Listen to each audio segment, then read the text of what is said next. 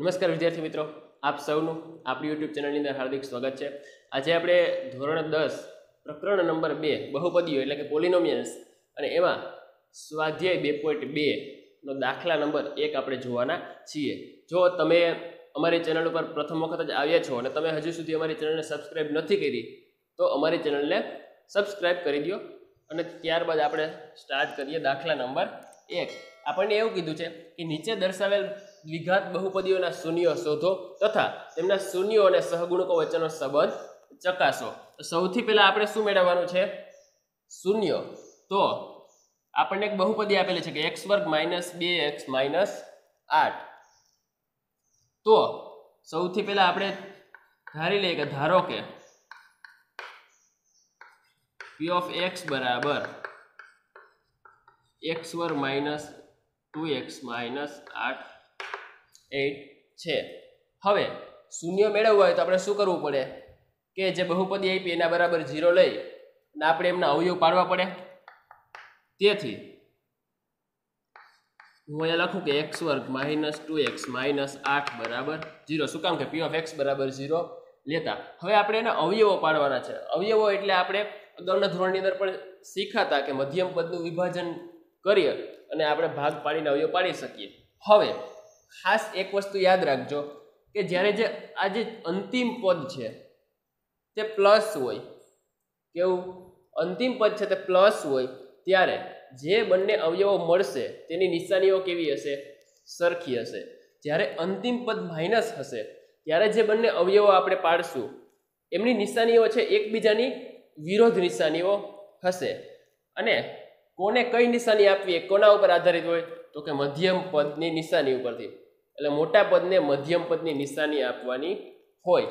હવે, આપણે અહીંયા જોઈએ તો આપણને જે અંતિમ પદ છે તે માઇનસ આઠ છે. આપણે એવા અવયવ પાડવા છે કે જેનો સરવાળો બાદબાકી થઈને માઇનસ બે આવે ને ગુણાકાર માઇનસ આઠ આવે. તો હું બે ચોક આઠ, એટલે બે અને ચાર લઉં. તો ગુણાકાર બે ચોક આઠ થઈ ગયું ઓકે હવે નિશાનીઓ ખાસ જો નહીં તો મોટા પદને મધ્યમ પદની, તો એ મોટું પદ છે, મોટો અવયવ છે, તે આને આપણે મધ્યમ પદના માઇનસ આપ્યો, તો આ પ્લસ માઇનસ ચાર પ્લસ બે, તો માઇનસ બે આપણને મળી ગયા. બે ગુણ્યા ચાર એટલે બે ચોક આઠ પ્લસ માઇનસ માઇનસ આઠ મળી ગયા. બસ, તો હવે આપણે માત્ર લખવાનું જ છે કે એક્સ વર્ગ plus two X minus four X minus eight બરાબર ઝીરો હવે આ બંનેની પેર આપણે બનાવી. હવે આની અંદરથી આપણે એક્સ કોમન કાઢશું. એટલે અહીંયા વધ્યું એક્સ ને અહીંયા વધ્યું બે. આ બે માઇનસ છે એટલે હું બેમાંથી માઇનસ કોમન લઈ લઉં ને ચાર કોમન લઉં. એટલે અહીંયા વધ્યું એક્સ અને ચાર દુ આઠ. પણ કેવા પ્લસ કારણ કે માઇનસ આપણે કોમન લઈ લીધા. બરાબર ઝીરો હવે એક્સ પ્લસ બે અને બાકી વધ્યું એ બીજા કાઉન્સમાં એટલે અહીંયાથી એક્સ અહીંયાથી ચાર. બરાબર ઝીરો હવે આપણે સેપરેટલી બંનેને ઝીરો આપી દઈએ. એટલે આવું થાય કે એક્સ પ્લસ બે બરાબર ઝીરો અથવા એક્સ માઇનસ ચાર બરાબર ઝીરો આ પદ સામે જાય એટલે એક્સ બરાબર માઇનસ બે. અને સામે જવા દઈએ તો એક્સ બરાબર ચાર. તો આ આપણને બંને શૂન્યો મળ્યા. તેથી બહુપદીના શૂન્યો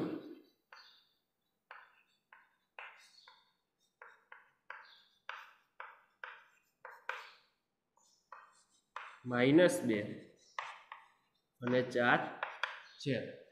આપણને શૂન્યો મળી ગયા. અને આપણે બીજા શબ્દોમાં આલ્ફા અને બીટા કેવું તો પણ કહી શકીએ. કે એકને આલ્ફા અને બીજાને બીટા કહી દે. હવે હવે આપણે એમનો શૂન્યો અને સહગુણકો વચ્ચેનો સંબંધ ચકાસવાનો છે. તો અહીંયા સુધી તો દરેક જગ્યાએ તમને સરખું જ શીખવા મળશે. પરંતુ હવે પછીની થોડીક આપણી જે રીત છે થોડીક અલગ પડે છે. પરંતુ તમને બહુ જ સરળ લાગે એ રીતે આપણે થોડી ચેન્જ કરેલી છે. હવે, તમને ટેક્સ્ટ બુકની અંદર આ વસ્તુ જોવા નહીં મળે, પરંતુ આ રીત તમને બહુ જ ઇઝી લાગશે. હવે, સૌથી પહેલાં તો આપણને જે બહુપદી આપી છે, એને આપણે એના વ્યાપક સ્વરૂપ, એટલે કે આપેલ બહુપદીને.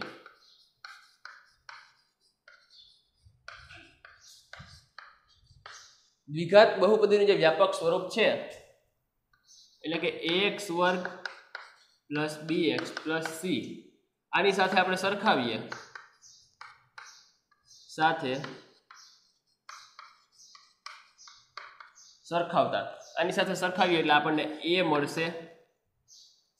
અહીંયાથી કંઈ નથી તો એક્સ વર્ગનો સહગુણક એક.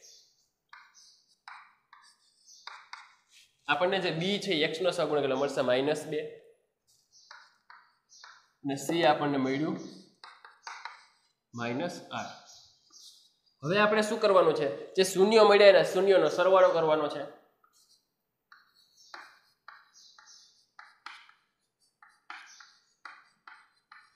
શૂન્યનો સરવાળો, એટલે કે આલ્ફા પ્લસ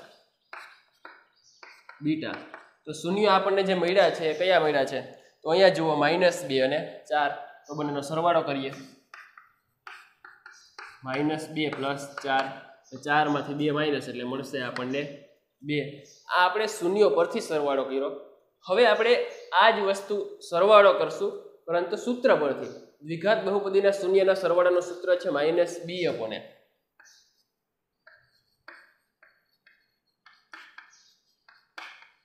જો બંનેનો જવાબ સરખો આવે,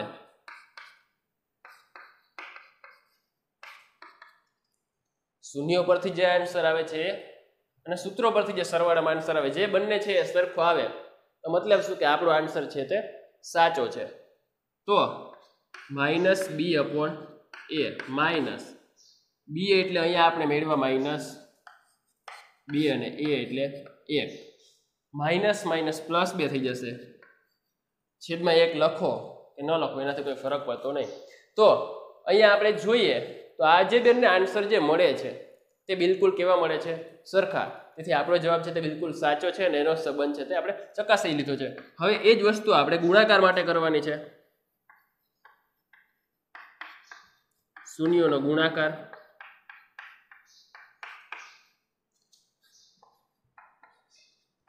Alpha into beta.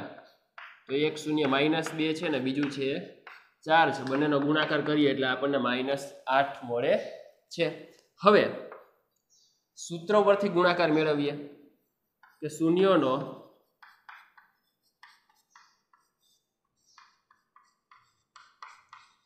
ગુણાકાર.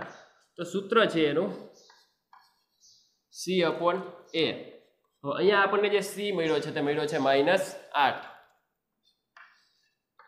એ એટલે એક, બરાબર માઇનસ આઠ. તો આ બંને આપણે જવાબ જોઈએ તો પણ આપણને કેવા મળે છે? સરખા.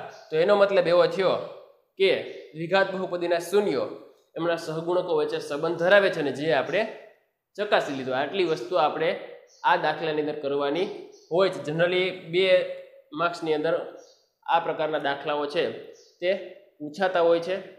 હવે આગળના વિડીયોઝની અંદર આપણે આના પછીના એક્ઝામ્પલ્સ જોઈશું. જો તમને અમારો વીડિયો પસંદ આવ્યો હોય તો લાઈક કરો, તમારા મિત્રો સાથે શેર કરો અને અમારી ચેનલને હજુ સુધી સબસ્ક્રાઈબ નથી કરી તો અમારી ચેનલને સબસ્ક્રાઈબ કરો.